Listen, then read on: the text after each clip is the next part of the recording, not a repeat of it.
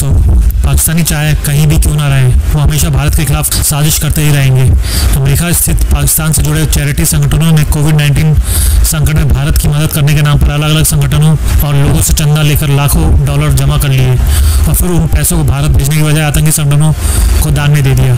खुलासा हुआ है कि अमेरिका में स्थित पाकिस्तानी चैरिटी संगठनों ने भारत में आतंकी हमला करवाने, दंगा भड़काने के नाम पर भारत की मदद के नाम पर मिले पैसों का इस्तेमाल किया है। एक रिपोर्ट के ज़रिए अमेरिका की डिस इन्फो लैब ने कोविड 19 स्कैम 2021 का खुलासा किया है, जिसमें कहा गया है कि मानवता के इतिहास में पाकिस्तानी संगठन ने सबसे बुरा स्कैम किया है। संस्था ने हेल्पिंग इंडिया के नाम पर लाखों डॉलर चंदा वसूला, भारत में ऑक्सीजन संकट के नाम पर लोगों से चंदा लिया और फिर लाखों डॉलर चुरा लिए। डिस इन्फो लैब की रिपोर्ट के मुताबिक अमरीका स्थित पाकिस्तानी संस्था ने हेल्पिंग इंडिया ब्रेथ के नाम पर लोगों से झूठ बोला और फिर चंदे के पैसों को आतंकियों के हाथ में दे दिया। भारत जब कोरोना वायरस की दूसरी लहर से जूझ रहा था उस वक्त भारत की मदद के लिए दुनिया के कई देश आगे आए और कई संस्थाओं ने भारत की मदद की।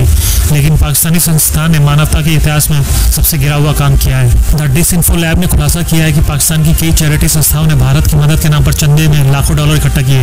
इसके लिए इन चैरिटी संस्थाओं ने अलग अलग देशों को की जाने वाली भारतीय मदद का हवाला दिया। लेकिन इन पाकिस्तानी संस्थाओं का कट्टरपंथी इस्लामिक संगठनों के साथ साथ कई आतंकी संगठनों से करीब रिश्ता है और ये संस्थाएँ पाकिस्तानी आर्मी के इशारे पर काम करती हैं और भारत के खिलाफ साजिशें रचती रहती हैं। एक ऐसे ही अमरीकी स्थित पाकिस्तानी संस्था के नाम का खुलासा हुआ है, जिसका नाम Islamic Medical Association of North America है।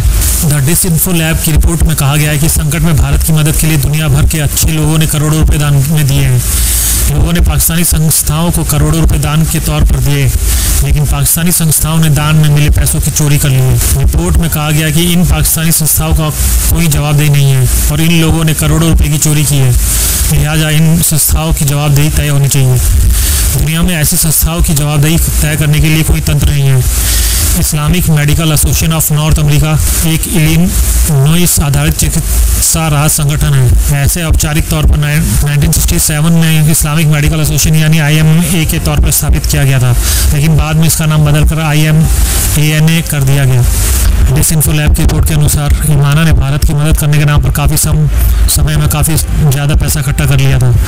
जब इस संगठन को लगने लगा कि भारत के नाम पर इसे पैसे मिल रहे हैं तो इसने पैसे इकट्ठे करने का लक्ष्य बढ़ा दिया। डिस इन्फो लैब की रिपोर्ट के मुताबिक ईमाना संस्था को भारत की मदद के नाम पर एक लाख डॉलर प्रति घंटे की मदद मिल रही थी। और रिपोर्ट के मुताबिक इस संस्था ने भारत की मदद करने के नाम पर दुनिया भर से तीस करोड़ से एक सौ अट्ठावन करोड़ रुपये वसूल किए।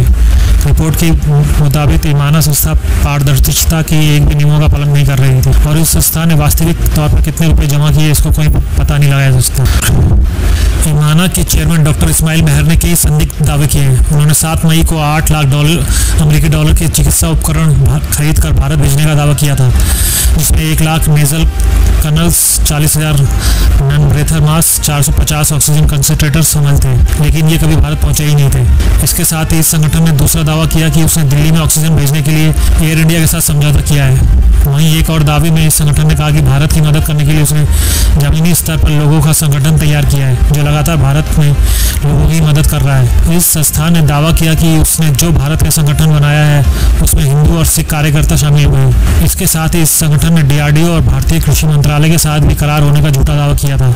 इस संस्था ने जो भी दावे किए हैं, एक भी दावा जाँच के दौरान सही नहीं पाया गया है। रिपोर्ट के मुताबिक दावा किया गया कि माना के साथ ही जिन पाकिस्तानी संस्थाओं ने भी भारत के नाम पर चंदा लिया है, उसे आतंकी संगठनों तक पहुँचा दिया गया है। तो आखिर में इस रिपोर्ट में आपने देख ही लिया कि किस तरह पाकिस्तान मदद के नाम पर भी गड़बड़ घोटाला कर रहा है। हमें पता है पाकिस्तान इससे भी मुकर जाएगा।